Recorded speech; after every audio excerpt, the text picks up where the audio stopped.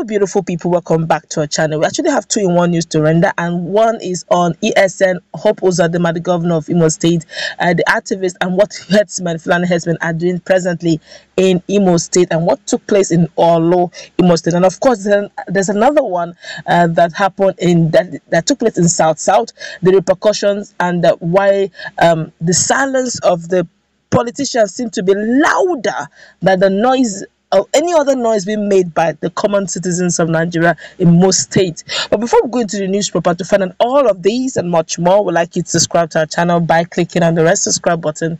Beside it, you will see a bell notification icon. Please go ahead, click on it to get notified as soon as we update our channel on YouTube. Let's start with the memorandum signed during a, a, governorship election that took place in Akwa Ibom State.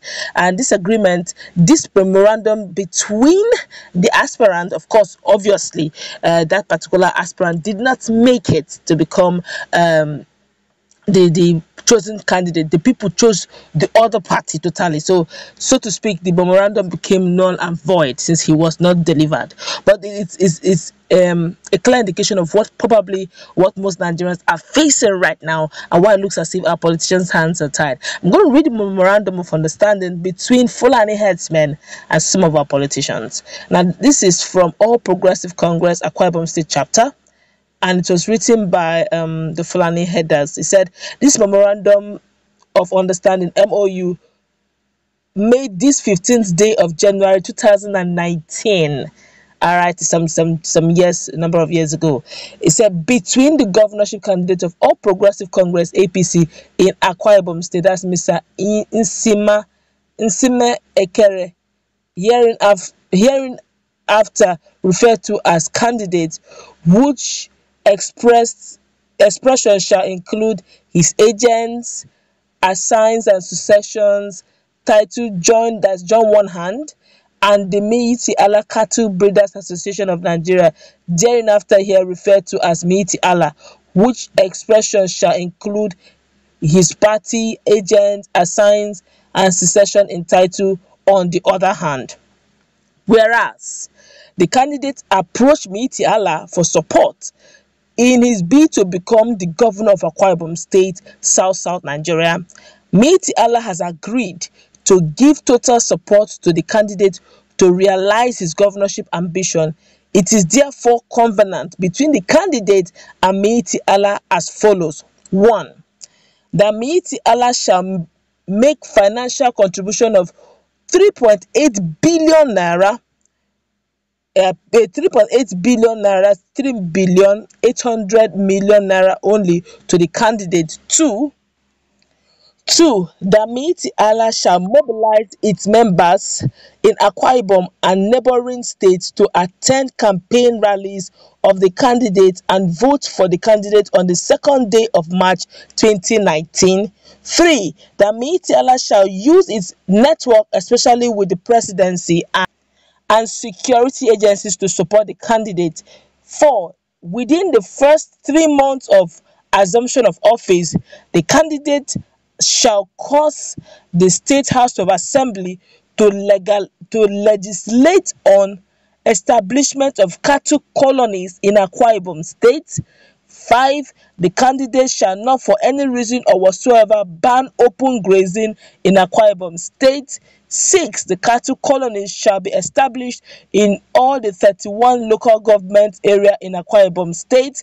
Seven, the Miyetti Allah shall have the sole responsibility of appointing Sarkin Fulani, that's Fulani heads, for the cattle colonies, and the Sarkin Fulani shall have the same status as traditional rulers, that's Edidem, that's like Oba, that's like Eze, Obi, in several places. Now, now they will have the same equal right, like ballet. Mm-hmm. Then eight, that is the event that in the event of dispute, parties to this MOU shall abide with results of arbitration in accordance with the laws of the Federal Republic of Nigeria.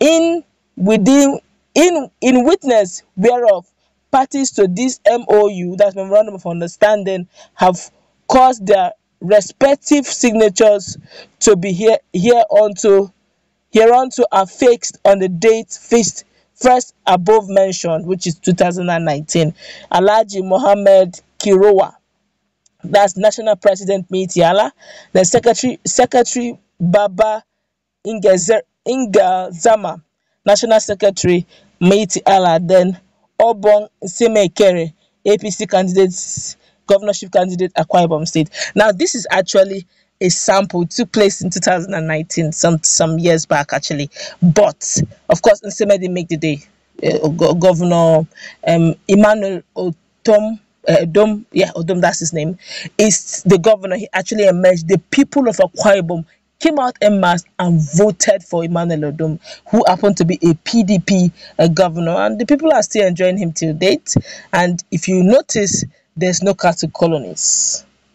If you also notice, there's no second Fulani in Akwa Ibom State, which means that um, this particular memorandum of, of, of, understanding became null and void simply because there was uh, no there was the person who went into agreement it was not delivered so that gives you a picture of what may just maybe what Nigerians are generally suffering as at now. And sometimes Nigerians are screaming and shouting, but yet the silence of our politicians are so deafening. But yet they're not saying anything, but it's so deafening that even the deaf can hear their silence. You know, you keep, hearing things, Fulanis will do some certain things, you arrest them, and the next thing they're freed. And you're wondering, why?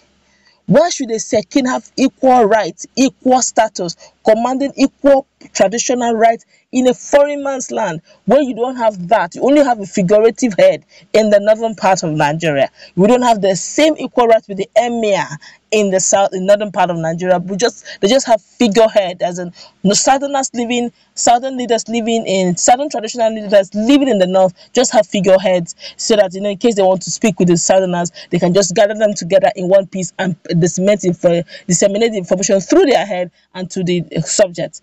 But that, that's not what they're even asking for demanding for open grazing in 2019 that clearly shows that the ban for open grazing has not been the game plan all along you now understand the dilemma the politicians are in, judging the fact that due to probably greed here and there, the quest for power here and there made them to sign some certain things that they do not understand may hamper the future of the next generations and generations unborn in their society, in their community eight years is too big for a tenor uh, for two tenors. Four years is too small. Is for uh, four years eight years it looks big but it's actually too small for you to change the topography and the history of a total community total people.